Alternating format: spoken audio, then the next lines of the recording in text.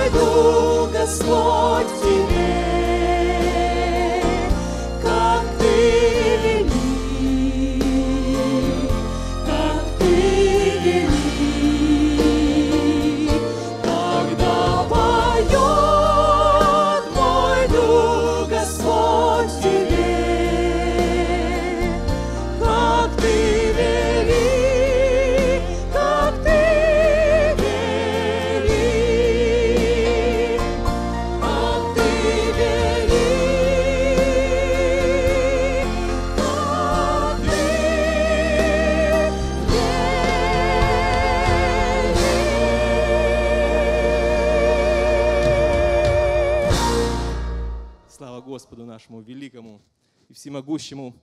Псалом Давида, 102. «Благослови, душа моя Господа, и вся внутренность моя, святое имя Его. Благослови, душа моя Господа, и не забывай всех благодеяний Его. Он прощает все беззакония Твои, исцеляет все недуги Твои, избавляет от могилы жизнь Твою, венчает Тебя милостью и щедротами, насыщает благами желание Твое, обновляется подобно орлу юность Твоя. Господь творит правду и суд над обиженными, щедр и милостив Господь, долготерпелив и много милостив, не до конца гневается и не вовек негодует, не по беззакониям нашим сотворил нам, и не по грехам нашим воздал нам. Ибо как высоко небо над землею, так велика милость Господа к боящимся Его. С этими мыслями мы будем благодарить Бога нашего.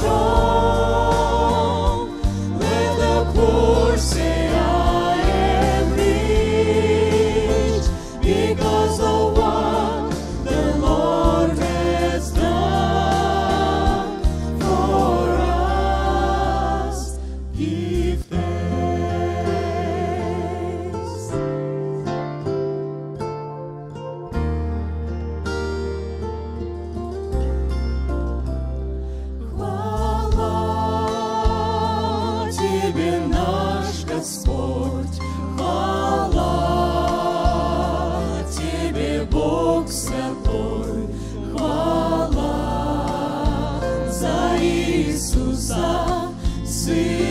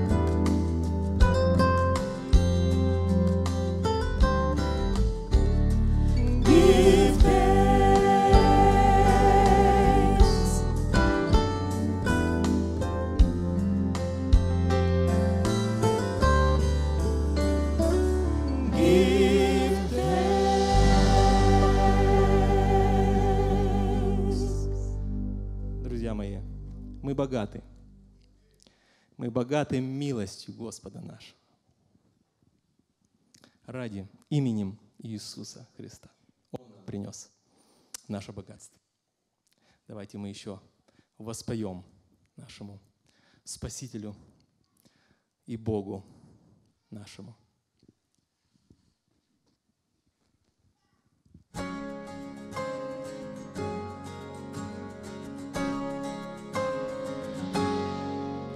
Ты Отца живое Слово, Ты начало всех начал, Рост звезд, луну и солнце, Ты задумал и создал.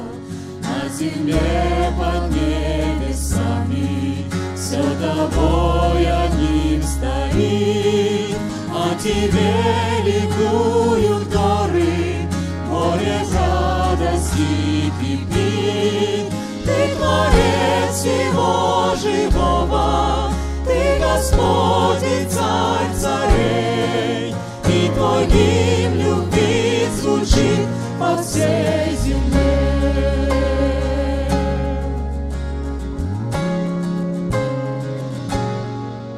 Хоры ангела восставив, Грешных ты пришел спасать.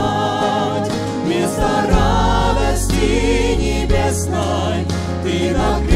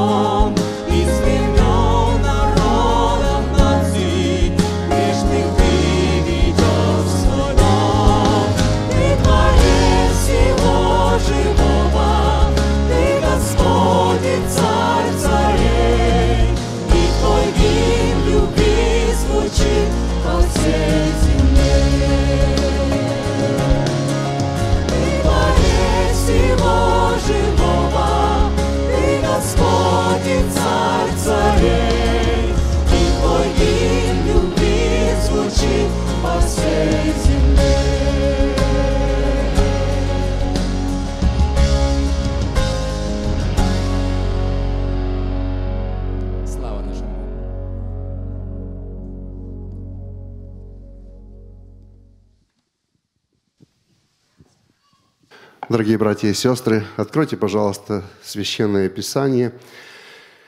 Послание апостола Павла к римлянам, 5 глава. Римлянам, 5 глава. С первого стиха прочитаем. Итак, оправдавшись верою, мы имеем мир с Богом через Господа нашего Иисуса Христа, через которого верою и получили мы доступ к той благодати, в которой стоим – и хвалимся надеждою славы Божьей. И не сим только, но хвалимся и скорбями, зная, что от скорби происходит терпение.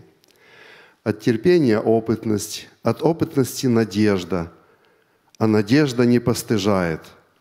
Потому что любовь Божия излилась в сердца наши Духом Святым, данным нам. Ибо Христос, когда мы были еще немощны, в определенное время умер за нечестивых.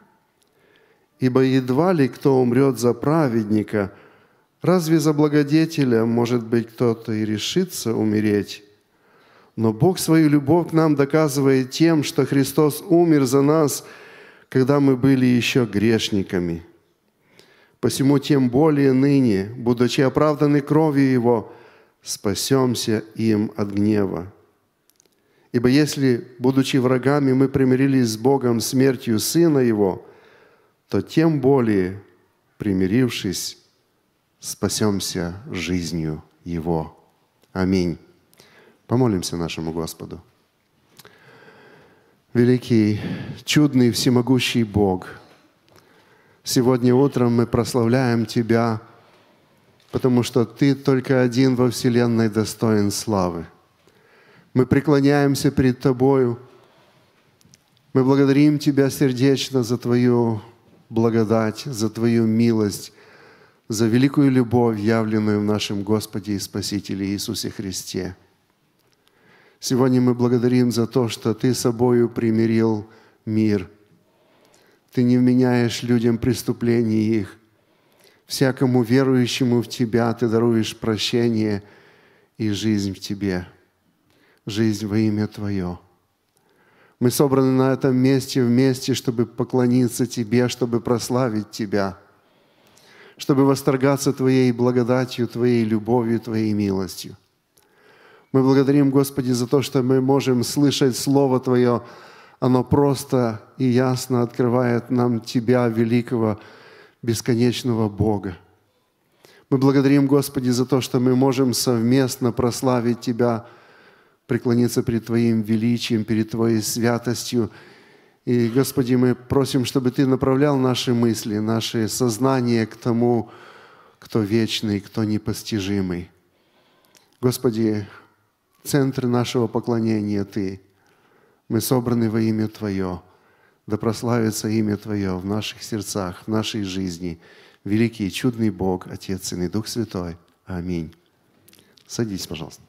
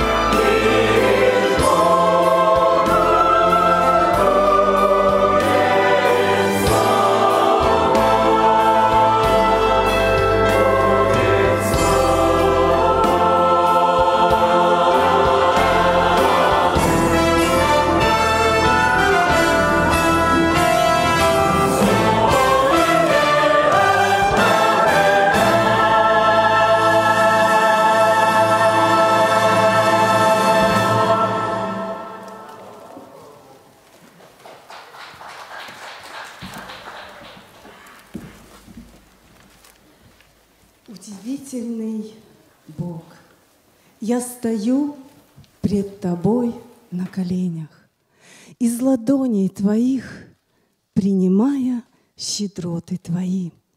Ведь потоки любви и обильные благословения Ты с небес посылаешь в открытые руки мои.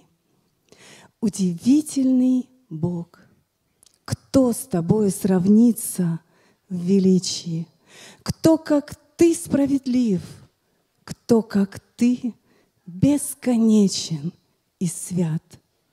Истуканы земли, эти идолы в жалких обличьях ни любви не дадут, ни спокойствием не наградят.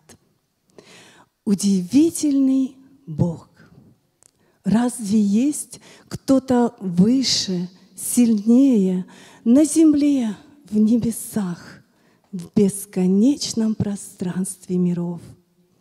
И в ответ трепещу пред Тобою в смирении, сознавая обманчивость ложных иллюзий и снов.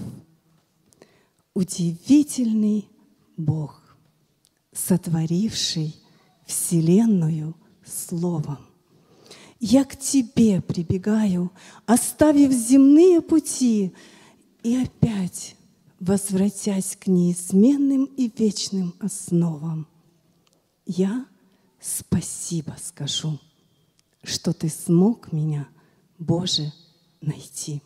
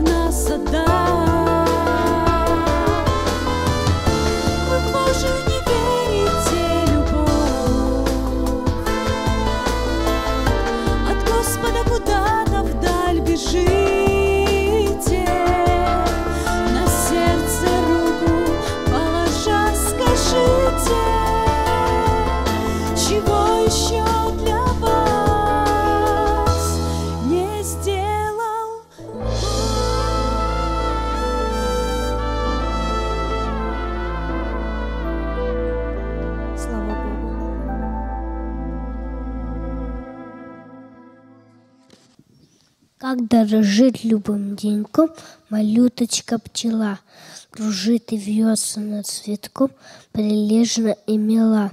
Как ловко крошка мастерит себе опрятный дом, Как щедро деток угостит припрятанным метком. И я хочу умелым быть прилежным, как она, Не то для праздных рук найдет занятие сатана.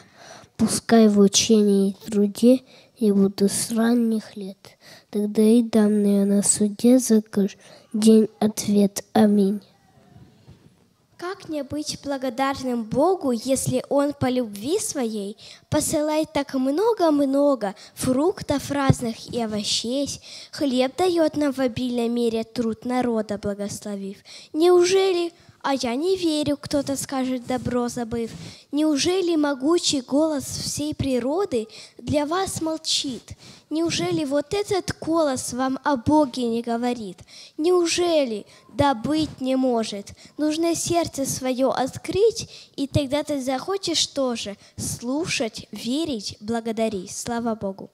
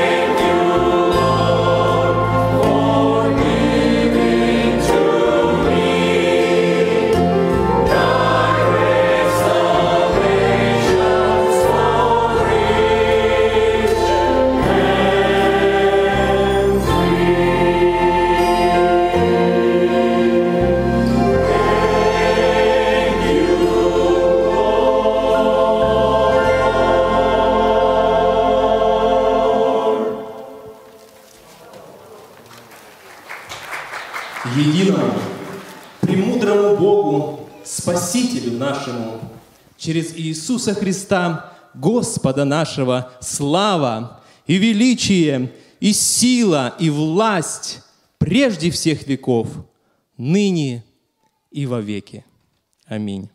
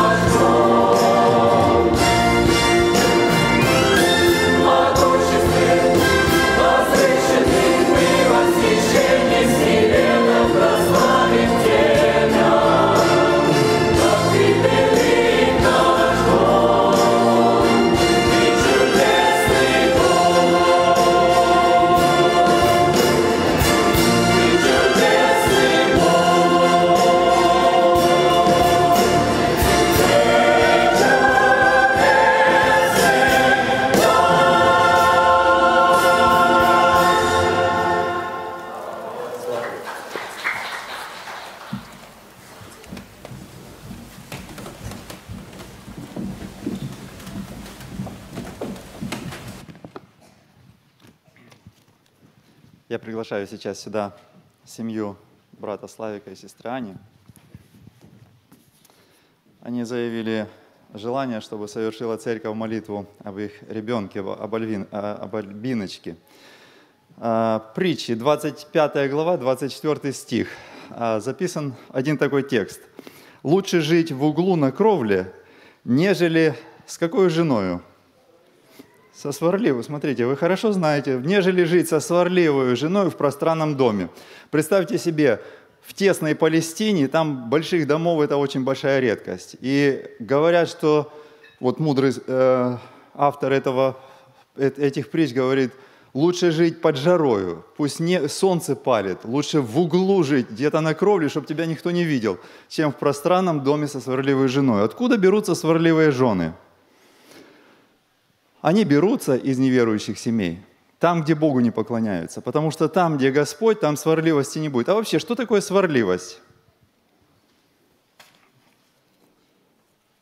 Можете сказать, что такое сварливость? Неустройство, хорошо. Недовольство, может быть, сварливость, недовольство. Постоянное, э, э, постоянные жалобы. Это придирчивость. И вот это воспитывается в людях, которые не видят и не преклоняются перед Богом. Это в грешном сердце культивируется. Интересный человек один подошел к Иисусу Христу и говорит, кстати, он очень э, важный вопрос задал. Э, В 19 главе Матфея записано так, 16 стих. «И вот некто подошел, сказал ему, «Учитель благий, что мне делать доброго, чтобы иметь жизнь вечную?» У молодого человека было заложено очень важное желание вечно жить, как и многим людям другим.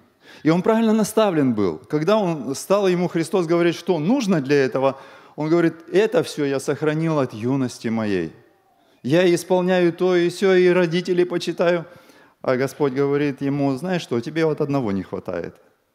И он его не отверг. Он говорит, приходи, за мной следуй, только вот это сделай, и все. Ты за мной придешь и получишь ответ на свой вопрос, получишь жизнь вечную. Одно что-то маленькое может держать даже при научении всего Божьего закона. Задача, которую перед вами поставил Господь среди вот этих вот трех прекрасных молодых сердец, чтобы вы стали на фронте любимой евангелизации и любимого благовестия. Самых любимых сердец вам Господь доверил, чтобы вы были благовестниками, первые благовестники для этих душ. И поэтому не просто помолиться для того, чтобы Бог их благословил здоровьем, чтобы благополучие было в вашей семье, но благословит вас Господь тем присутствием, чтобы одно маленькое не было упущено, то, что будет разделять от следования за Господом и получения жизни вечной. Вы согласны, друзья? На церкви лежит еще ответственность молиться за такие души. И мы присоединимся, и на нас ложится ответственность не просто благословить, а молиться, чтобы Господь дал силы, мудрости, Духа Святого помазания, чтобы было на Славике и на Ане. Чтобы они, как родители, привели эту душу к Иисусу Христу. И им было достаточное проповедано Евангелие, чтобы они через жизнь пришли. Чтобы не сварливые жены росли в семьях. Они оттуда берутся. А чтобы были довольные, радостные христиане, которые достигнут неба. Вы согласны? Давайте мы совершим молитву. Дорогой Господь, я благодарна, что мы еще живы и здоровы. Ты нас подкрепляешь каждый день, даешь нам все необходимое в нашей жизни. И также, Господи, я благодарна, что мы в это утро можем посетить церковь, Господи, назидаться, Господи. Благослови также, Господи, Альбиночку, Господи. Мы благодарны, что Ты нам послала ее в нашей жизни, Господи, что она родилась здоровенькой, Господи, что с ней все благополучно, Господи оберегай ее, охраняй, Господи, чтобы она всегда любила Тебя всем сердцем, всей душой, Господи, подкрепляй ее, Господи, духовно, чтобы всегда и шла по Твоему пути. И нам дай, как родителям, мудрости, Господи, воспитать наших детей, Господи, правильно, Господи, дай нам со славой, Господи, этой мудрости. Благослови всю нашу семью. За все мы благодарны, за все милости. Аминь.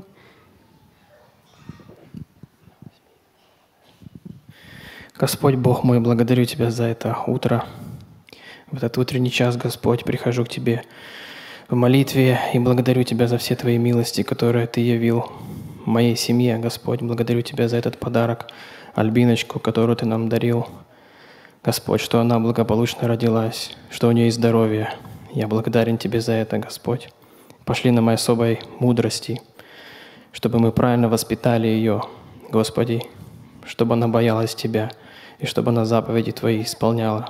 Господи, прибудь с нашей семьей. За все Тебе слава. Аминь. Во имя Отца и Сына и Святого Духа мы присоединяемся к этой молитве родителей. Господь и Бог наш, Отец Небесный, благодарим Тебя за то, что в Иисусе Христе они нашли прощение своих грехов, за то, что Ты им, Господь, дал семью. И эта молодая семья сейчас приносит в молитве к Тебе о своих детях, сейчас об Альбиночке. Мы просим милости Твоей, Господь, на нее, чтобы она была Твоим детем, познала в свое время Тебя и через жизнь родителей, чтобы она видела этот добрый образец, и чтобы ни одна маленькая деталь не отделяла от следования за Тобою и посвящения Тебе. Прославься, Господь, в их жизни, благослови церковь нашу в том, чтобы мы всегда молились и поддерживали эти семьи в молитвах. Тебе пусть будет слава и здесь, на земле, и в вечности, во имя Отца и Сына и Святого Духа. Аминь. Занимайте свои места, дорогие друзья, а мы вам оставляем на память вот такую прекрасную книжечку, которая называется «Богословие для детей». Пусть Господь благословит и в радости воспитывать ваших детей.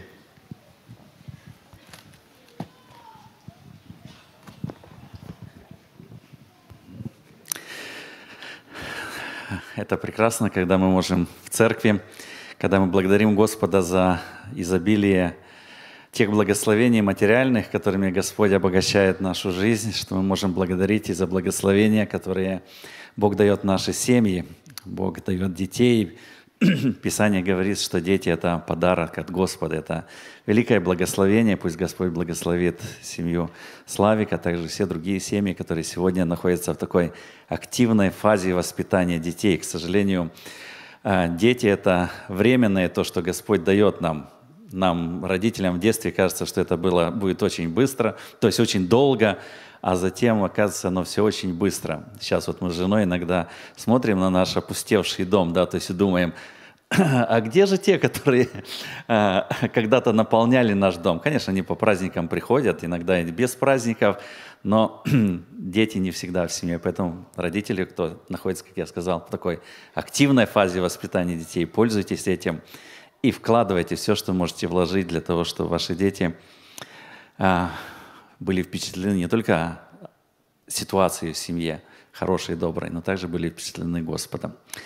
Вы помните, братья и сестры, я больше обращаюсь сейчас к членам поместной церкви, но хотя и гостям нашим, особенно те, которые регулярно нас посещают, что мы сейчас в церкви находимся в поисках э, а, брата, который сможет меня сменить на служение основного пастора.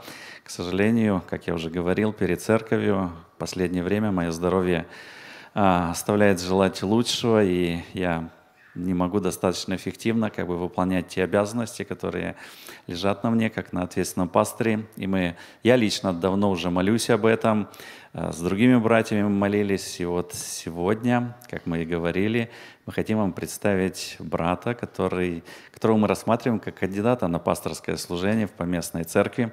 Я лично знаю брата Диму, ну, лет, наверное, 19-20, наверное, достаточно долго. Помню его еще совсем юным молодым человеком. Какое-то время мы не часто виделись, но сейчас он возмужал, а, а, стал зрелым, не просто мужчиной, а стал зрелым пастором. И я, мое сердце очень как бы расположено к тому. Я думаю, что если Господь поведет это все, и церковь поместная будет согласна. Я думаю, что этот брат мог бы быть тем благословением для поместной церкви. Я и другие братья, члены Пресвитерского совета, мы все единодушны в этом, поэтому сегодня с нами брат Дима. Дима, пожалуйста, поднимись на сцену, чтобы тебя видели. Братья и сестры, поприветствуем его. Это брат Дмитрий Жеребненко. Дима, я не знаю, если это прилично, вот при таком большом публике, как бы говорить брат Дима или, может быть, Дмитрий Юрьевич лучше? Нет, нет, брат Дима, проще, проще, да. А, но, тем не менее, братья и сестры, знаете, это Дмитрий Юрьевич, да, то есть... А, Еще раз попробуем, да, брат Дима. А, Дима, если ты можешь немного поделись свидетельством, ну, мы с тобой знакомы давно, да, то есть, но наверное, не вся церковь знакома, ну, далеко не вся, да, то есть поэтому, если ты немного расскажешь о себе, о своей семье, о своем христианском опыте, о служении, которым ты занимаешься. Сегодня, кстати, брат Дима вместе с семьей, с женой, с детьми. Кстати, я не знаком с ними, тоже с удовольствием познакомлюсь после того, как брат Дима позволит это сделать. Угу. Хорошо. Брат Дима, несколько слов, да, да то есть о себе. А, ну, во-первых, приветствую, дорогая церковь, рады быть с вами. А, благодарим Бога за то, что вы уже нас приняли, мы вот а, чувствуем внимание и заботу, и вот с братьями вчера встречались, и Евгений, и Таня нас хорошо тоже приняли, заботятся о нас. Но немножко расскажу о себе, а, постараюсь только самые лучшие стороны, остальные все упущу. Допустим, каким я был ребенком, когда я рос. А, ну, я родился в Новосибирске, Сибирь, а, почти чуть более 40 лет назад. И, а, в принципе, рос в семье служителя, и, не знаю, третье или какое поколение. В общем-то, в церкви всегда, и мой, мой дедушка, допустим, был служителем. Помню еще, когда маленький был, посещали его в тюрьме, потому что он сидел, он был пастором, он был осужден за это в свое время, в советское время. И как бы а, знал с детства, что христианство – это не просто воскресенье сходить, это, это, целый, это целый спектр, то есть это, это жизнь, которая, которая требует, э, это стоит, это стоит чего-то, это требует жертвы.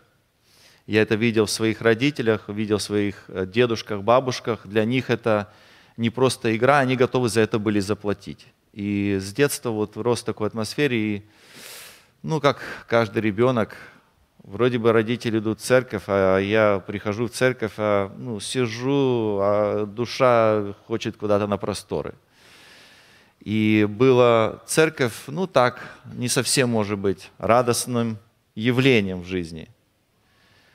А, но потом это все поменялось. И теперь мне приятно быть в церкви. Поверьте, те, кто из вас сейчас сидят и думают, ух, я согласен, мне сейчас скучно в церкви, мне неинтересно. Поверьте, множество людей рядом, которые сидят с вами, им в церкви сейчас приятно и интересно. Я это сам пережил. Прошло этот э, период, и в 96-м на 97-й год молодежная встреча Нового года, и там Бог показал мне, что я, хотя с детства в церкви, третье поколение, четвертое верующий, я не дитя, я не часть этой семьи, которая собирается вот вместе. Сегодня вот собралась церковь как семья, у вас семейная церковь благодать. Но можно быть здесь и ощущать вне этой семьи по одной простой причине, потому что не, не был я детем Божьим. И это я понял. Я тогда нашел пастора во время общей молитвы, покаялся, помолился, но это только начался сезон такой, который года три продолжался, пока уже будучи в Сан-Франциско, мы эмигрировали в 99 году, приехали в пригород Сан-Франциско, церковь Костровалы, может быть, слышали. А, и мы там как бы вот остановились, и уже будучи там, а, и уже будучи молодежным руководителем, где-то мое, мой путь пониманию полного Евангелия или приближения к Богу, наверное, вот он а, э, закончился, где сомнения ушли о моем спасении, моей принадлежности. Это был такой а, сложный период, но я благодарен, что Бог а, дал такую уверенность, то, что я его дитя. И вот, наверное, с 99 -го года Бог тоже дал возможность быть в служении. Сначала молодежным руководителем, занимался в церкви, затем немножко было даже в объединении э, служение нес. В общем-то, в 97 году Бог так поменял направление моей жизни, Бог положил на сердце, и через ободрение э, братьев-служителей я покорился воле Божией и пошел в семинарию, поступил в семинарию, и пять лет я учился в семинарии. Э, в 2007 году, я извиняюсь, 2007, я сказал в 97, нет, это, это совсем все наоборот. В 2007 году а, поступил, и пять лет я, в общем, учился в семинаре. В это время Бог благословил меня семьей, нашел Ирину, а, самую лучшую жену на свете. Братья, не обижайтесь, но у меня я уже нашел ее, и а, как бы поиск для остальных должен, наверное, закончиться. А, и, в общем-то, в семинаре участия Бог нам подарил еще двоих деток и двоих мальчиков. И потом уже после семинарии мы а, еще нам Бог дал еще двоих мальчиков. Вот так вот а, Бог нас благословляет. И, наверное, с 2011 года мы проживаем в Ванкувере. члены церкви Слово благодати, может быть, вам известное. И там я несу служение. А, занимался два года библейским институтом, то есть более такое образование в церкви, и затем пять лет молодежным пастором был.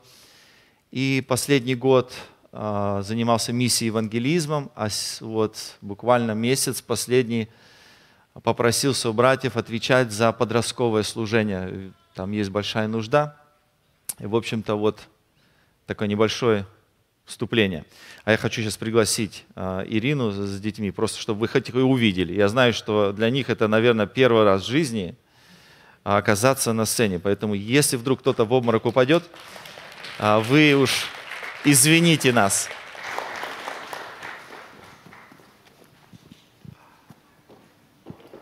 Ничего, справитесь, справитесь. А, значит, вот Ирина, а, Ирина Цуканова бывшая, теперь она Жеребненкова. Затем а, мы, а, я сказал, когда в 2008 году мы женились, то есть это уже мы 11 лет отпраздновали этим летом совместной жизни. Затем у нас первенец Джашуа, даже не знаю, как перевести, Иисус сын Дмитрия, да, как, или как перевести, потому что не, не сын Навина не однозначно. Навина, точно, да. А затем у нас второй это Джон, Джонни мы его зовем. А, третий у нас Лукас. И четвертый, вот он здесь прячется, это наш, он уже не baby, Марк, его зовут Марк. Ну, наверное, он все равно останется как младший самый baby где-то. Уж простите, да. Да, очень приятно познакомиться со всеми вами. Ну, с тобой мы давно знакомы. Ирина, очень приятно познакомиться. Как вам Калифорния вообще? Нравится? Да, да мальчики Лучше, чем в Ванкувере, О, правда? это Калифорния, солнце светится. Да, да. Лучше, чем в Ванкувере, нет? Ну, погода как минимум. Но это сейчас. У нас бывает очень жарко, да, то есть Сан-Франциско, кстати, не так. У нас бывает очень жарко. Но всем нравится здесь, да, то есть Хотя некоторые... Ну, попробуй по-другому как-то ответить, да? Ну да. Когда пап, пастор говорит, всем нравится, да? Да. да. А, Мы очень рады, что вы нашли время, приехали, да, то есть, братья и сестры, после служения, пожалуйста, подойдите, познакомьтесь, да, то есть, по, чтобы они чувствовали себя как дома. Кстати, да.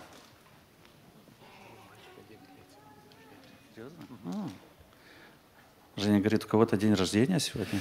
Да, у нас сегодня у второго э, Джани сегодня прям вот М. день рождения. Ему сегодня 9 стало. Джон. Джон. Джон, меня, кстати, так же само зовут, да, то есть меня никто не знает, правда, что так зовут, но меня так зовут тоже, да, то есть я- мое официальное имя точно такое же, хорошее имя, да, так что пусть тебя Господь благословит и приумножит твоим годам. А, кстати, я ну, узнал вчера, что через пару дней у тебя день рождения Да, в тоже. четверг, на, прям на день благодарения. Прямо на День Благодарения, да. Ну, кстати, мы хотели бы сегодня тебя поздравить, да, то есть, э, ну, в общем, разделите цветочки вместе с сыном. Благодарю. Я, к Благодарю. сожалению. Я А, думаю, что, наверное, лучше да. вот так вот. Маме, А. да, Джани? Подарим маме, да?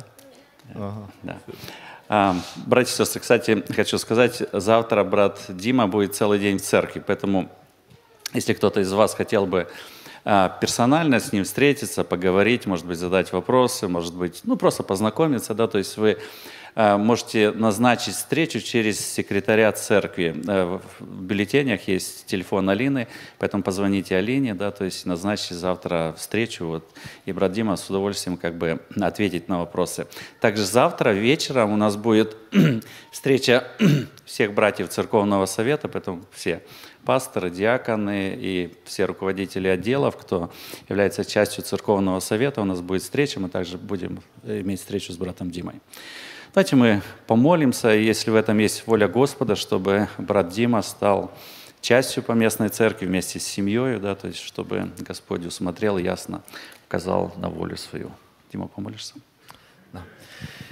Господь, мы благодарим Тебя за эту привилегию а, называть Тебя своим Отцом. Это подарок для нас, за который мы никогда не заплатили, не сможем заплатить, но Ты заплатил очень дорогую цену. Твой Сын умер за нас, заплатил вполне, и сегодня мы свободны. Мы освободились от рабства греха, и сегодня мы добровольно, с желанием отдаемся в рабство праведности. Э, И мы хотим исполнять Твою волю, Господи. Каждый из нас здесь на земле с целью. У каждого из нас есть определенное предназначение, которое нам нужно выполнить. И мы просим о том, чтобы не только мы, но каждый здесь присутствующих мог эту волю знать и с радостью принять и затем исполнить. Господи, это очень важно в отношении церкви и служения, а, чтобы а, мы были покорны Твои, Твоему плану и Твоей воле. Просим все во имя Иисуса Христа, наш Господь. Аминь. Аминь. Пожалуйста, братья и сестры, занимайте места. Вы то же самое. Спасибо большое.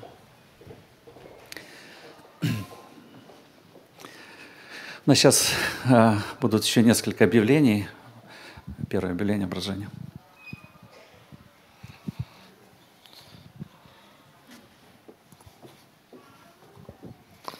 Приветствую вас, дорогие братья и сестры, дорогая церковь. У нас сегодня будет вечером служение, как обычно, на английском языке. Будет проповедовать наш гость, брат Дмитрий. И после этого вместо наших обычных э, групп дискуссий у нас будет вопросы и ответы. Поэтому, если у вас есть вопросы, у него будет тема семейная, гармония в доме, в семье. Поэтому приезжайте, пожалуйста, на это служение. Если вы не знаете английского языка, вам, у нас будет перевод, у нас будут наушники, вы можете взять и слушать а, проповедь. И если у вас есть сейчас вопросы, вы можете отправить на вот этот номер, и мы постараемся вечером а, на них ответить. Если у вас в течение дня будут появляться вопросы, вы можете их отослать. И если у вас будут появляться вопросы в течение проповеди, вы тоже можете а, их отправлять на этот телефон. Поэтому приезжайте, привозите. Это тема, которая будет касаться детей, подростков, молодежи, родителей, дедушек и бабушек. Поэтому а, мы вас приглашаем, чтобы вы сегодня пришли на вечернее служение и а, слушали проповедь, назидались, и после этого задали вопросы, которые у вас есть. Поэтому вот такое вот э, информация, такое объявление. Спасибо. Еще несколько объявлений. Уже на протяжении многих лет э, в Поместной Церкви на День Благодарения в четверг мы делаем богослужение. В этот четверг то же самое, 28 ноября в 10 часов утра у нас будет благодарственное служение, поэтому приходите сами, приглашайте ваших родных, близких. Также для братьев напоминаю, что следующую субботу у нас ежемесячный молитвенный завтрак. Как обычно, он будет в 8 часов утра, поэтому, братья, пожалуйста, планируйте свое время и приходите. Для сестер э, также напоминание. Э, продолжается регистрация на женский рождественский вечер. Если кто-то еще не приобрел билеты, вы можете после служения в фойе церкви это взять.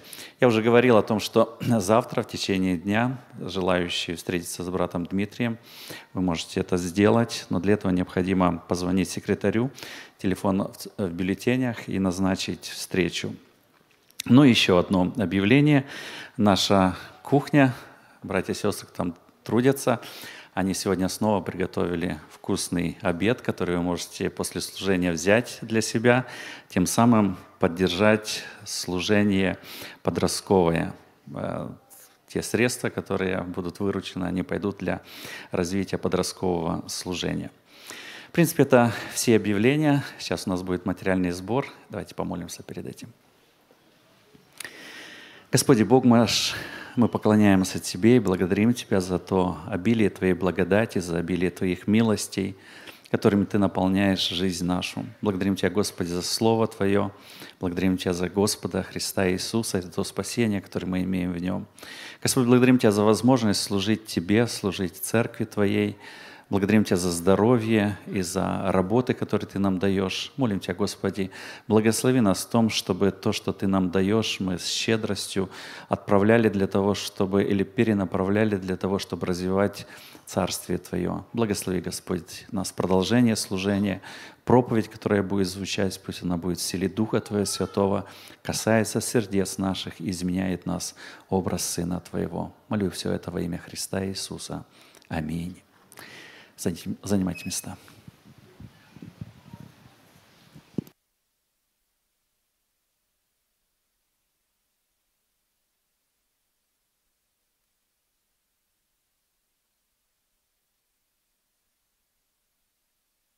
Кому-то известно, можете петь с нами.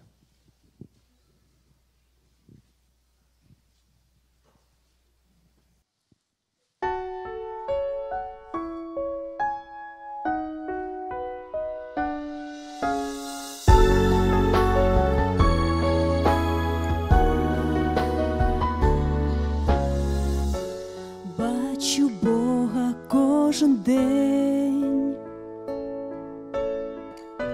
як відкрию вранці свої очі, в дивнім небі голубім, в перевеслі золотім, як промінь сонця, всюди ти нескінчений Бог творець. Нескінчений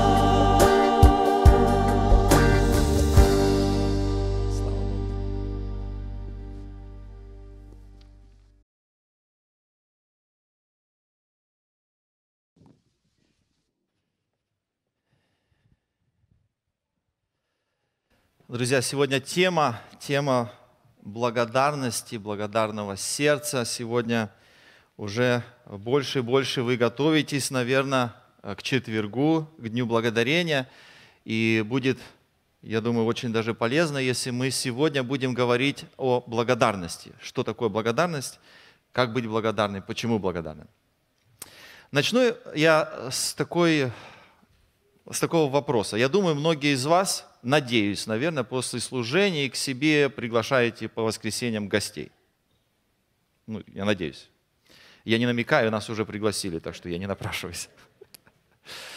Но представьте, я вам представляю, сейчас вот здесь бы стояло 10, 12, 11 человек – я бы сказал, вот это вот мои друзья, бывшие прокаженные, 10, которые встретились однажды с Иисусом, Он их исцелил. Девять из них, вот эти вот девять первых, они неблагодарные. Один самарянин, он не похож на вас, на меня, не совсем удобный, но он благодарный. Кого бы вы после служения подошли бы и пригласили к себе в гости? Как вы думаете? Ну давайте подумаем. Наверное, никого. Подождите, а вдруг он еще прокаженный, да? Я не, не хочу здесь прокаженных у себя. Нет, нет, они все по-честному, здоровые все. Наверное, благодарного. Я думаю, что с девятью, хоть их и больше, ну, наверное, во-первых, девять, девять приглашать или одного, наверное, лучше одного, да, не хватит на всех супа. Но, наверное, вы бы взяли девя... одного вот этого десятого, да? Наверное, с ним было бы поприятнее поговорить. А если бы с ним рядом еще стоял его друг с Ветхого Завета Иов, помните? Который одно, второе, третье забирается у него, а он остается верен, он остается на Божьей стороне, и он принимает это. И... А что, мы все должны принимать от Господа? Вы бы пригласили к себе Иова – я думаю, наверное, было бы даже очень интересно пообщаться с Иовом. К чему я эти задаю вопросы? Понятное дело, что сегодня не будет ни прокаженных, ни бывших прокаженных. Надеюсь, будете кого-то приглашать. И у вас, наверное, где-то есть какой-то критерий, по которому вы кого-то приглашаете, кого-то нет. Вот. Это честно. Вы же всех не пригласите, всю церковь. Как-то как идет отбор. И вот один из критериев, который, может быть, мы подсознательно, но человек, который в общем по жизни довольный и благодарный, я бы его к себе пригласил. Если бы тот, который постоянно, вот сегодня сварливая жена или же там недовольный человек постоянно, ну, пускай э, иди пейся, грейся и, и, и иди своими, своими, своей дорогой. Мы понимаем, что благодарное сердце прекрасно, красиво, интересно, привлекательно. Это однозначно. Вопрос другого плана. Как быть таким человеком? Мы понимаем, что есть такие люди, но хотелось бы, чтобы после служения всех нас разобрали по домам. Согласитесь. Я не говорю о гостях, я просто говорю о рядовых. Как быть таким благодарным. Знаете, я назвал тему диаграмма благодарного сердца. Всем известно, что такое кардиограмма. Это а, электрический ток, который измеряется в, сердечной мышце и определяется, когда сокращаются предсердия, когда сокращаются желудочки. Вы знаете вот эти вот зубцы, так называемые этой кардиограммой.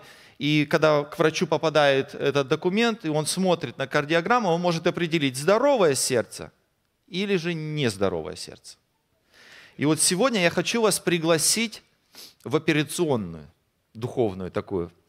Возьмем стол и достанем свое сердце, положим на этот стол. По-английски называется hearts on the table conversation. Знаете такое? Hearts on the table. Когда мы возьмем наши сердца сегодня, положим на, на этот стол и давайте сделаем серьезный анализ, диаграмму. А оно благодарно или нет? Потому что это намного важнее лечить сердце, нежели симптомы. Понимаете? Болит сердце. Давай таблетку обезболивающую. Все, не болит, пошел. Это не решило проблемы, согласитесь. Поэтому если мы просто сейчас подойдем к празднику благодарения, давайте научимся сказать спасибо после еды. Перед туркой, когда вы будете кушать, пожалуйста, составьте список, за что вы благодарны. Мы это все сделали, это все, все, все замечательно, благодарные. Не-не-не, нет. Давайте подойдем к этому празднику, к этому вообще, к этой теме а, с самой сердцевины. Поговорим от сердца к сердцу. Для этого надо ваше, каждое, вы каждое свое сердце достаньте сейчас – перед собой положите на стол, а, и давайте мы будем оценивать. Я хочу для этого пригласить вас в текст. Не совсем обычный, но я думаю, что для нас будет особым благословением. Это послание к Ефесянам, первая глава. Первая глава, мы будем читать с 15 стиха и до конца этой главы. Пока вы открываете, я хочу, чтобы вы открыли, мы проведем большее время вот в этой, а, в этой главе. Я вам скажу, что это, эти стихи с 15 по 23 стихи – это одно предложение. Одно предложение. Когда э, мы не можем в своем разговорном речи или когда мы пишем, не можем поставить точку. Когда это бывает? Когда мы забываем о знаках препинания. Подскажите мне. Когда я вот начинаю говорить что-то и, и не успеваю дойти до точки. Я просто говорю, говорю, говорю, говорю. Когда мы это, с нами происходит? Когда мы ругаемся? Когда еще бывает так, что вот мы начинаем говорить и просто забываем о знаках препинания, мы говорим и говорим и говорим.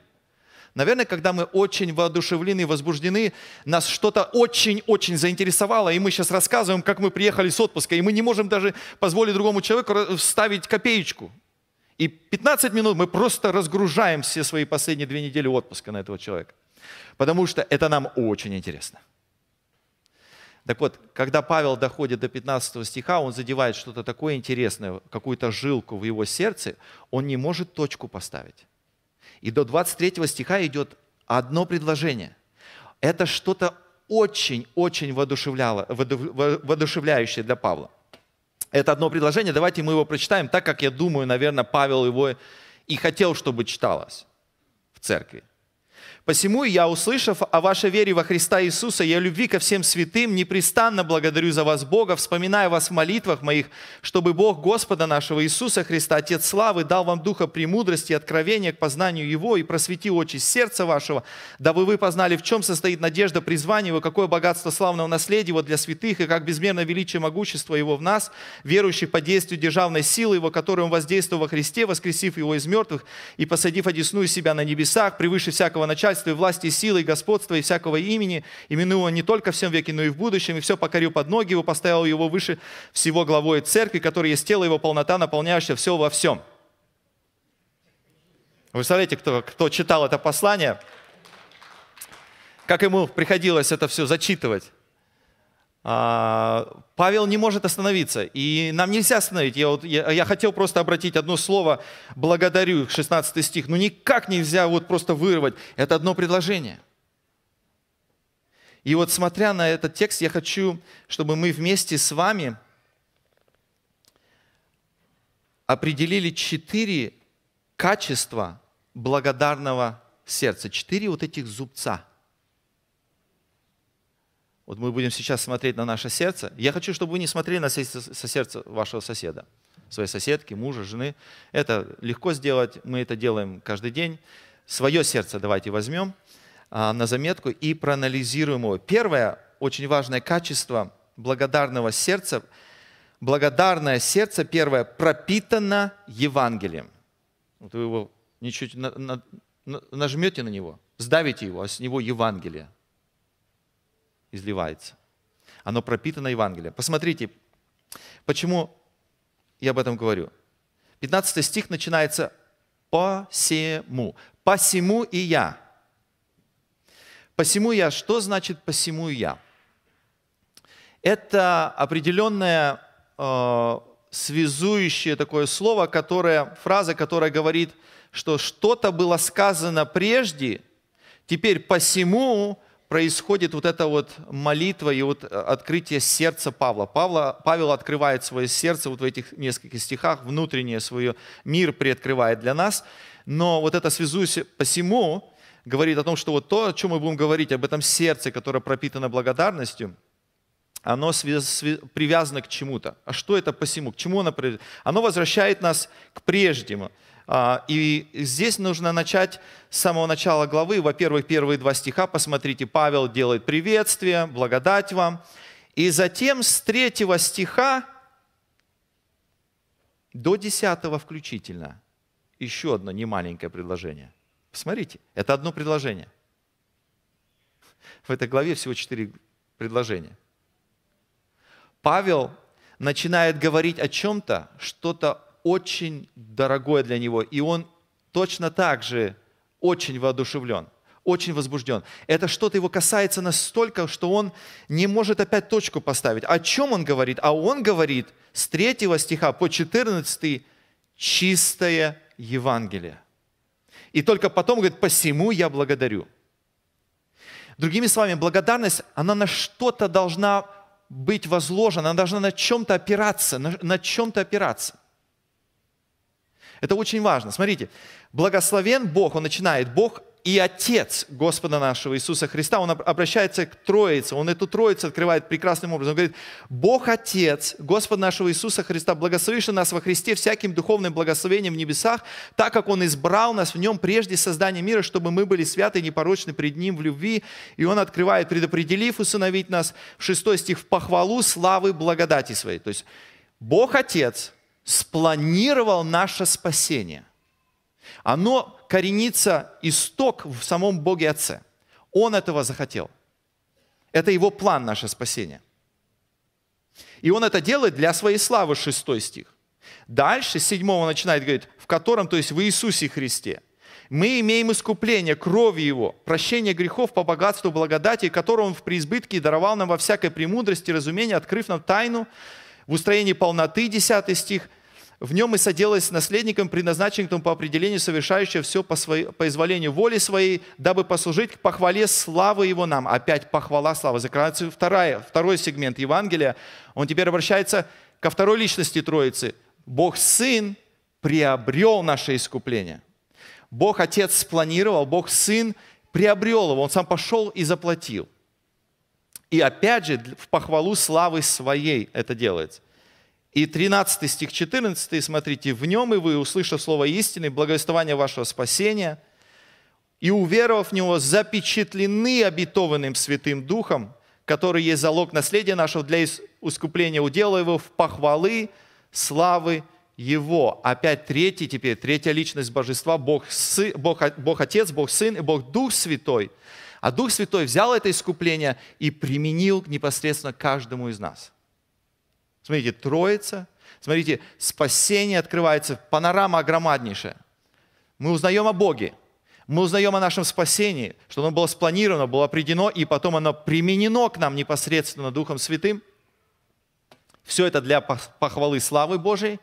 И Павел это не может остановиться, и он, и, и мы задаемся, зачем 14 стихов говорить Евангелие церкви? Он пишет это же в Ефес. Очень просто. Потому что если не заложить этого фундамента ко всему, что, что дальше будет идти, на чем, на чем все будет строиться? На Евангелии. Павел не стесняется, это его воодушевляет. Он это пишет одним предложением, потому что это очень важно, это очень ценно для него. Дорогие, не надо выключать себя, когда вы слышите в тысячный раз Евангелие. Ну разве вы коречитесь, когда вам тысячный раз дают ложку меда за свою жизнь. Фу, мед этот, я уже ел его в детстве, помню, сладкий, вкусный, все, хватит. Но если вы любите мед, не надоест. Не надоест. Вы хлеб едите каждый день. Почему? Нравится? Или заставляет папа с мамой? Павел ни капли не стесняется. Евангелие говорит, не-не-не, знают они, все это хорошо. Давайте еще раз покушаем. Вкусно, сладко, приятно. Почему это очень важно? Когда мы начинаем говорить о благодарности, Посему я, услышав о вере вашей во Христа Иисуса и любви ко всем святым, непрестанно благодарю за вас. Непрестанно благодарю, посему связывает, благодарность связана с непосредственно с Евангелием. Поймите, вот сегодня поставьте себя в позицию, или в четверг, когда вы в день благодарения. Господи, я благодарю Тебя за машину. А представьте, нету машины. Господи, благодарю Тебя за здоровье. А представьте, нету этого здоровья. Господи, благодарю Тебя за семью. А представьте, ее не заберет Господь. Все, работа, карьера, деньги, все, все. Вот забрать, забрать, забрать, забрать. И что, Дня Благодарения не получится у нас? Или получится? Получится. Если есть первые 14 стихов первой главы Ефесянам. Евангелие есть. Если я дитя Божие, если я понимаю план Божий, знаете, иногда это наблюдается, когда перед обеденным столом семья встала молиться, у нас кто-то из детей один молится, и потом и кто-то из родителей молится. И вот тот, кто бывает, я не раз наблюдал, когда вот, ну, в простоте своей, в детской, а, ребенок прибежал за стол молиться, а, ты будешь молиться, хорошо. И он глазами смотрит на стол, что на столе, а там борщ. И ему сейчас надо молиться. Вы не замечали, какая борьба происходит? Надо сказать Богу спасибо. А э, вся благодарность и пропала. И так же бывает в нашей жизни, в взрослой жизни. Когда встаешь на колени, а ты осознаешь, голова болит, работу потерял, конфликт на работе, непонимание в семье, надо сказать благодарность Богу. И сложно. И сложно, если нет Евангелия. Если реально нет Евангелия в жизни этого человека. Если вы выдернули из розетки свое духовное сердце и не подпитываете его Евангелием постоянно, что делает Павел с самой первой страницы. Он сразу говорит, это все определит. Мы сможем говорить о благодарности, мы можем говорить о очень многих других вопросах духовных и практике жизни, если будет Евангелие. Посему очень важно, как часто и как много Писание Евангелия формирует реально состояние вашего сердца, диктует состояние вашего сердца, то есть определяет состояние вашего сердца. Или же вот работа есть, я благодарен. Здоровье есть, я благодарен. А если нету? Что тогда? Все уберите, будет ли благодарность? Все уберите, будет ли благодарность? Честно задайте себе вопрос, посмотрите на свое сердце и скажите, чем оно пропитано. Никто не против на дне благодарения сказать, Господи, благодарю Тебя за пищу на столе, за здоровье, за семью. И это надо сделать. А если этого не будет когда-то?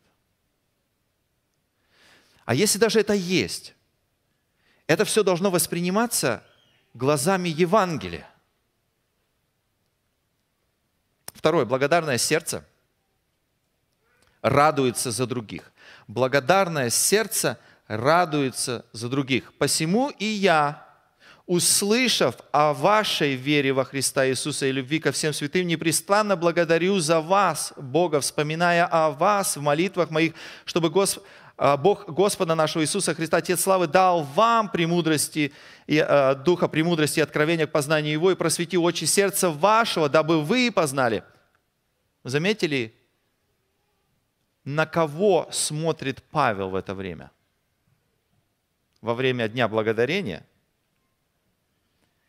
он смотрит на других.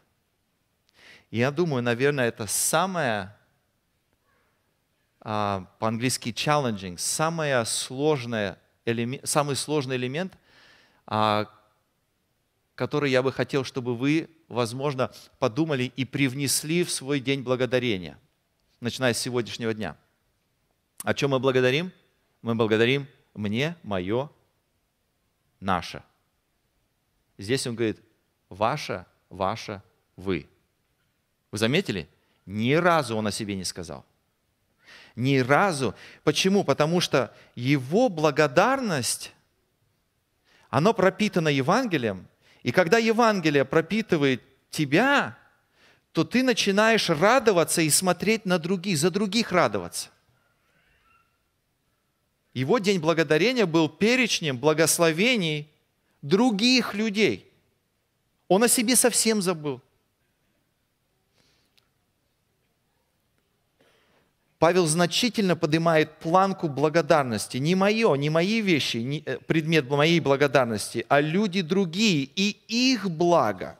Он за них радуется. Бог, Павел видит, как Бог благословляет людей. И он, смотрите, услышав о вере вашей во Христа Иисуса и о любви ко всем святым вашей любви, непрестанно благодарю за вас Бога. Что вы цените реально, друзья, в других людях? Вот 15 стих говорит, «И услышав о вашей вере во Христа и о вашей любви ко всем святым». Говорит, для меня это самое ценное. Что вы цените в других людях? За их, добро, их доброту или их деньги? Их веру или их власть? Что, что, что вы цените? Знаете, почему это важно? Потому что то, что ценно вот в общем церкви – это формирует идентичность церкви. К примеру, если в церкви становится ценным носить серые пиджачки, через время потихонечку начинают все носить черные, серенькие, извиняюсь, серенькие пиджачки. То, что ценно, то оно и формирует идентичность. Если для нас ценно какая-то власть, какие-то еще какие-то элементы, постепенно это становится идентичностью церкви. Если же церковь смотрит и читает, а Павел учит церковь, он говорит, услышав о вашей вере, и мне ценно видеть в людях веру. Я прихожу, я ищу в людях веру. И если в церкви начинается вот это вот в тренде становиться вера, то человек извне приходит, и он понимает, если у меня есть вера, меня здесь примут. И дальше он говорит, если есть любовь ко всем святым.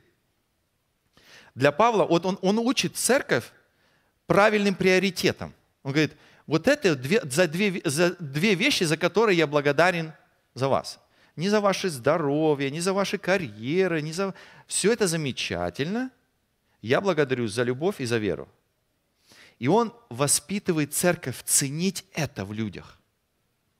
И за это быть благодарными. Замечайте, очень мало здесь еще материального, совсем нету. А есть духовное. И когда в, в, в, мы начинаем ценить и обращать внимание на духовное, это становится идентичностью церкви.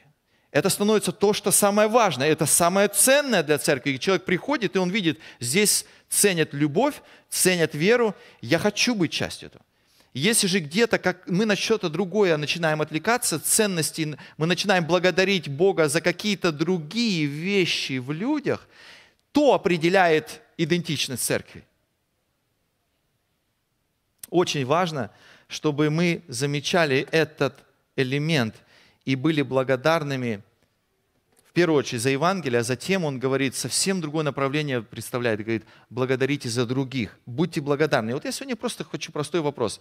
Насколько вы вот благодарны за человека, который рядом сидит, спереди, сзади, через несколько рядов, вот люди, которые вокруг, вы за них благодарны?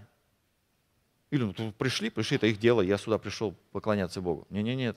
Церковь – это семья. Я благодарю за своих детей, я благодарю за свою жену. Я очень ценю ими. Точно такой же менталитет к церкви. И теперь следующий вопрос, а за что я их ценю? Вот они пришли сегодня, за что? Что они меня не обидели, зашли вот тут и не трогают меня, самое главное. Лишь бы не тронули до конца, и тогда я буду благодарный. Или же за то, что они, в них вера есть. И они любят церковь. Так же, как и я люблю, и у меня такая же вера. Мы с тобой. Естественно, формируется общность. Что-то начинает скреплять людей, которые родились в Казахстане или в Таджикистане. А здесь они в одном.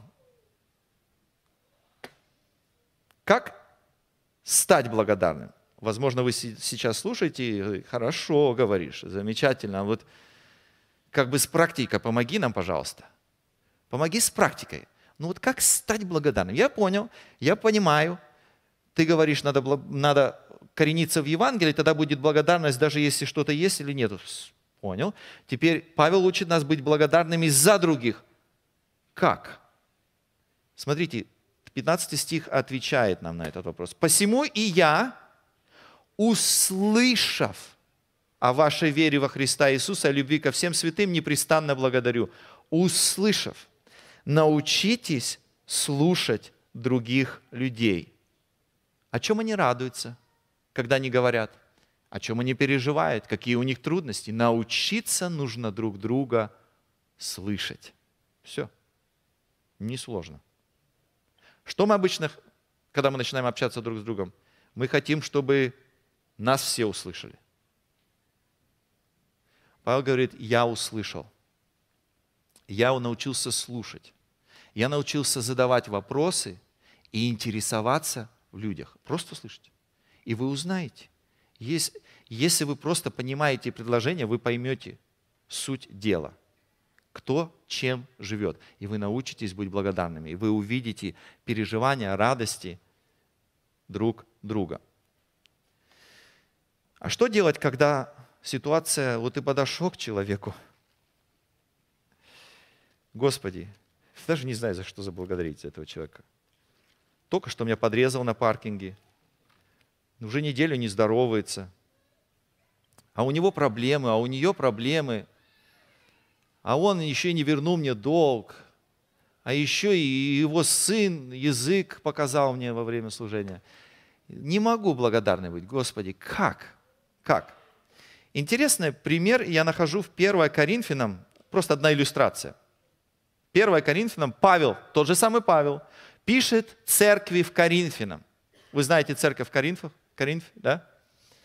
Не самая блестящая церковь из всех новозаветных церквей. Вы знаете, да, сколько там болячек? Полистайте. Очень много, очень много болячек. Но он начинает четвертый стих первой главы. «Непрестанно благодарю Бога моего за вас». Как так может быть? Откуда такое? Павел, ты же следующие 16 глав просто будешь их наказывать духовно. За одно, за второе, за третье. И дальше он говорит, ради благодати Божией, дарованной вам во Христе Иисусе. Нашел Павел. Нашел за что благодарить. Он увидел Божью благодать среди всех этих болячек и переживаний. Павел увидел благодать. То же самое делал Варнава. Когда он пришел, помните, его послала церковь, иди в Антиох, пришел. И что он увидел там? Благодать.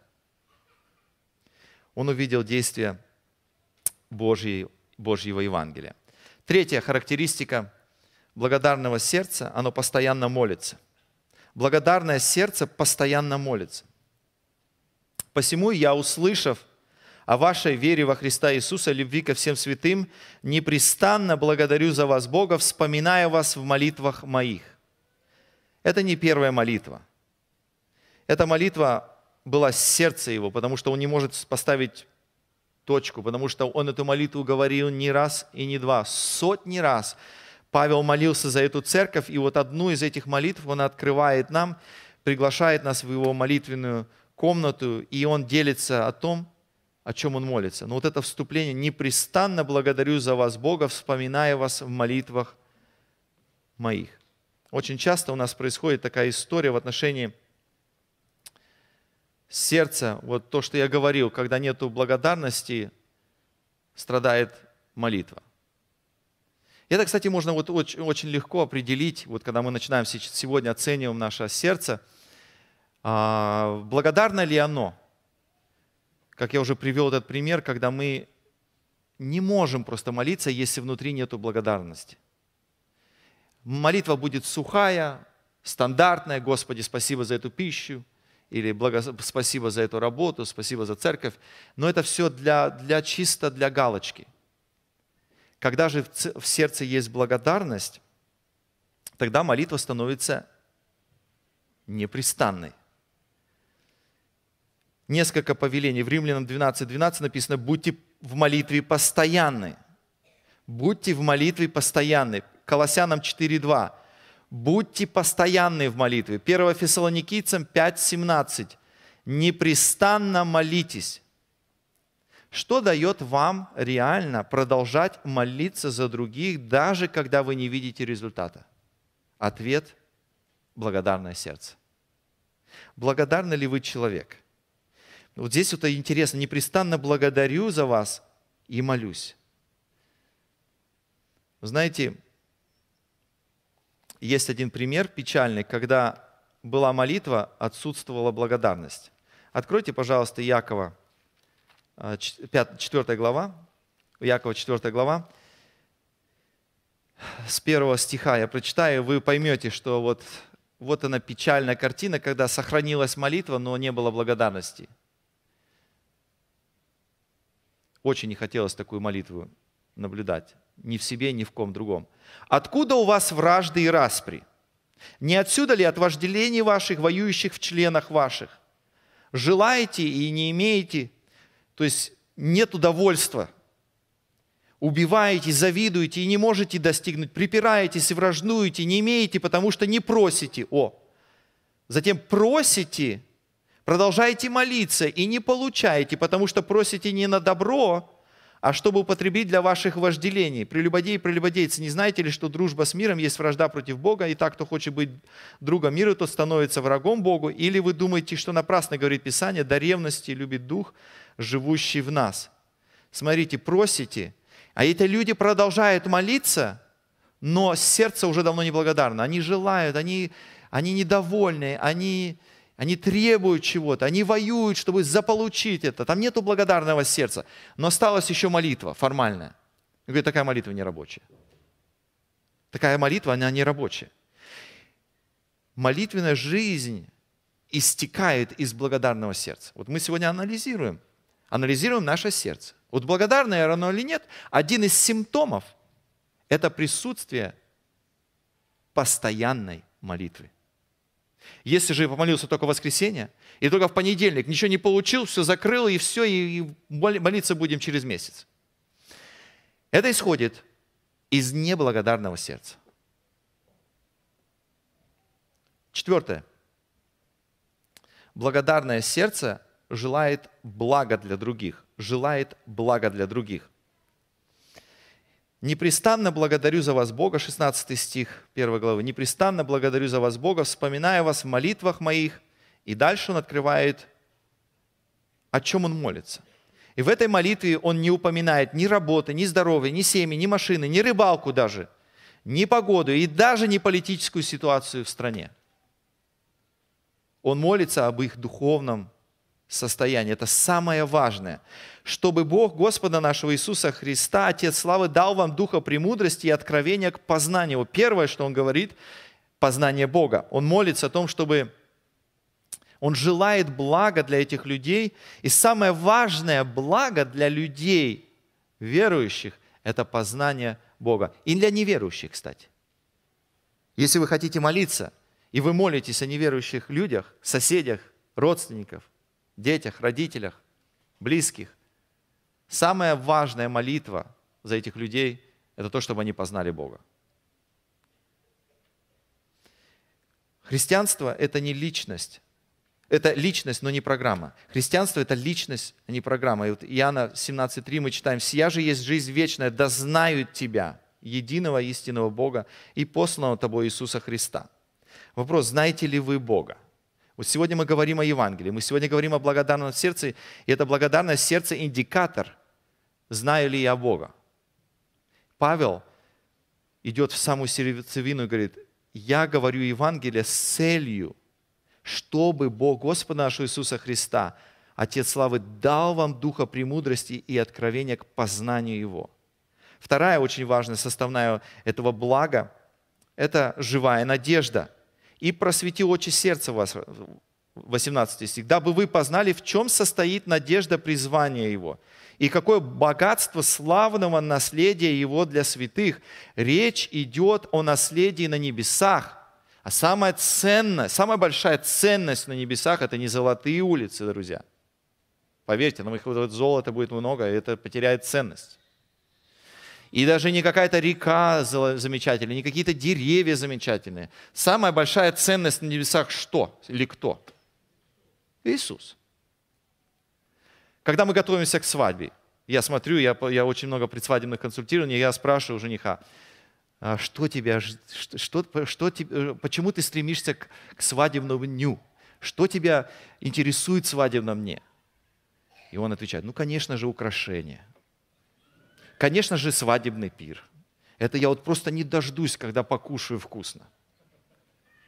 Или же гости придут. Вот программа будут петь. Я просто не могу дождаться этого. Да нет. В основном, если честно, между всеми нами скажу, братья в основном думают, мне бы это вообще ничего не надо. Была бы моя невеста, помолились и поехали ну, там добавили там где-то спеть, где-то покушать, где-то там, ну, в общем, на весь день программы добавили. Но самое ценное, самое ценное, это кто там? Это невеста, это жених. Это самое ценное в наследстве этого дня.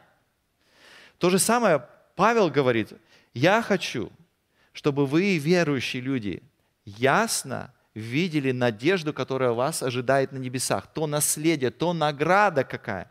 Интересно он говорит, смотрите, 18 стих, «И просветил очи сердца вашего». Оказывается, когда мы сейчас, вот наше сердце стоит на, лежит на этом столе, посмотрите на это внимательно сердце. На этом сердце есть два глаза. Ну, ну так же написано. 18 стих. Он молится, Господи, просвети очи, глаза сердца этих людей. То есть на вашем сердце, сейчас сколько здесь? 300 сердец, 600 глаз есть. Куда эти глаза смотрят этого сердца? К сожалению, суета этого времени, глаза нашего сердца направляются горизонтально, очень часто горизонтально, и он понимает, нет, нет, нет. Если мы реально говорим о благодарности, я желаю вам блага. И самое важное благо, если ваши глаза на вашем сердце посмотрят немножечко выше, на небеса, и там увидят наследие, и тогда я становлюсь действительно радостным благодарным. Я очень богат. Там очень большая ценность, ради которой, как Иисус рассказывает, один в притче пошел и продал все, и с радостью это сделал, потому что самое ценное. Но вот это настрой, он происходит только тогда, когда глазами, глазами я увидел это, а, это наследие, это жениха Христа, Спасителя. И третье – сила для жизни. 19 стих. «И как безмерно величие могущества Его в нас». Знаете, вот эта фраза говорит, а, это один из один из текстов, 19 стих, я вообще считаю в Библии один из тех текстов, когда мы начинаем немножечко разглядывать мышцу Бога. Бог очень силен. И когда Павел доходит до силы Божьей, ему пытается ее объяснить. Он говорит, и он берет из греческого языка буквально в кучу, сгребает все самые яркие термины, которые говорят о величии, о могуществе, какие только можно придумать. Я вам сейчас прочитаю на греческом, не, не испугайтесь, я вам, вы догадаетесь, почему я это делаю. Смотрите. То хупербалон. Хупербалон. Ту, то хупербалон. Мегаthos. Тес дунамеос. Ауту. Хупербола – гипербола. Знаете гипербола? Это которая функция уходит в infinity, в вечность. Она никогда не станет нулем. Это, это бесконечное. И он так и говорит. И как безмерно, это гипербола. Дальше он говорит мегаthos. Ну, в английском вы знаете мега, что такое мега. Это громадное. То есть оно вечно нету границ, и оно величественно. И он, переводчики перевели а, величие, мега, великая, и затем откуда- Это то же самое слово, откуда динамит наш произошел. Взрывная что-то.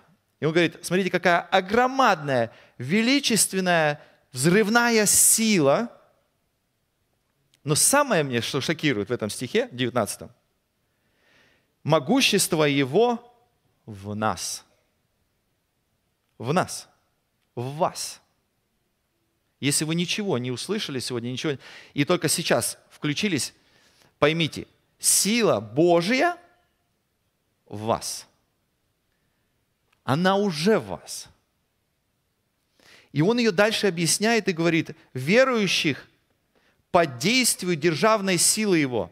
Вот эти три слова можно перевести по силе сильной силы Его. Силе сильной силы Его. Он повторяет, по-разному объясняет. Он опять же в 19 стихе пытается обрисовать величие силы Божией. И он говорит, это все в нас, в вас.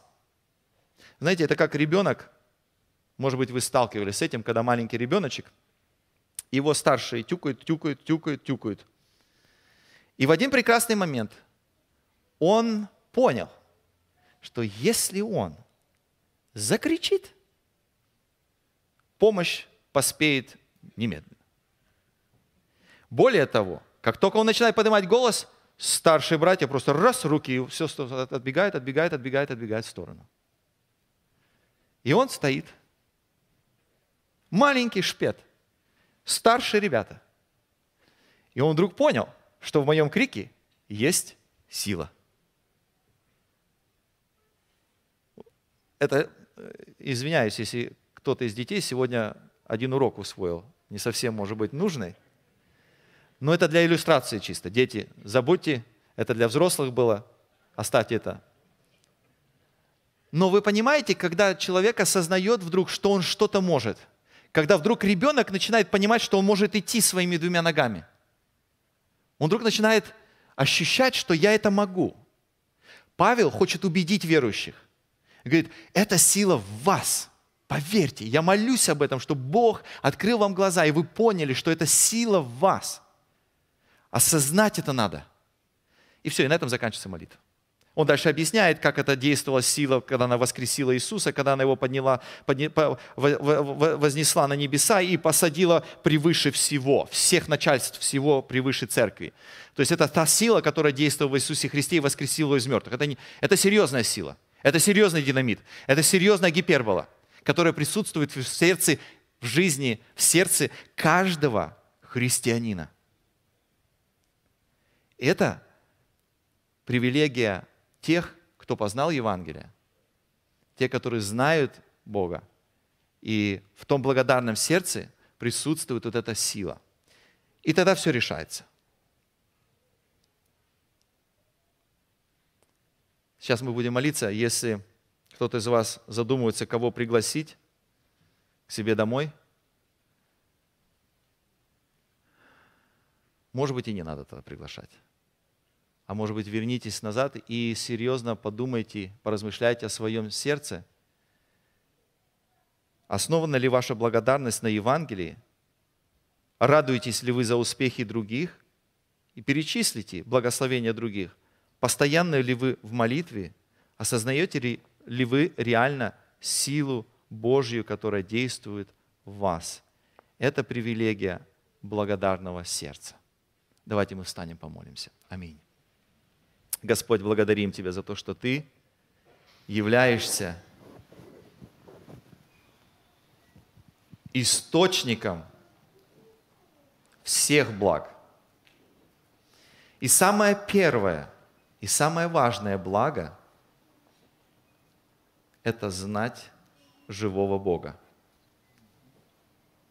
И это ты делаешь посредством, производишь в нас посредством живого Евангелия, проповеди Слова, которое открывает нам, как ты благ, которое открывает твой план спасения, цену спасения, безопасность этой печати на нас.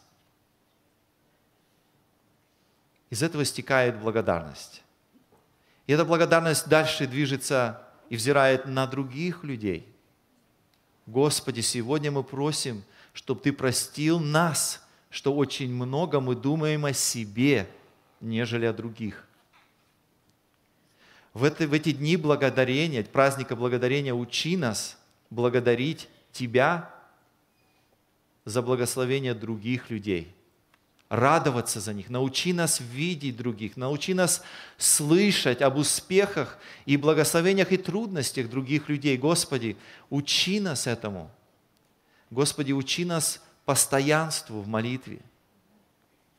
Учи нас желать самого лучшего блага для окружающих, которое кроется в жизни, преклоненной пред Тобою, жизни, жизни, которая пропитана силою Твоею, действующую в нас могущественно. Слава Тебе, наш Бог. Аминь. Слава Господу. Спасибо, брат Дима, за хорошее изложение текста Писания.